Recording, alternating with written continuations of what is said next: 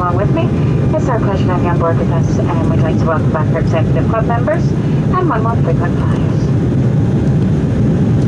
As always, your comfort and safety is very important, so we do recommend whenever you are seated, you do keep your seatbelt loosely fastened.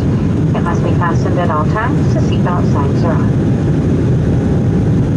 Very shortly, Abby and myself will start the in-flight service, offering you a complimentary drink from our bar, your choice of tea or coffee, and we have a selection of sweet and savoury snacks. If there is anything else at all we can do to make your journey more comfortable, please don't hesitate to ask as we pass through the cabin or use the call bell. You'll find this in the panel above your head. Just over an hour flight time to Glasgow, sit back, relax, enjoy the flight.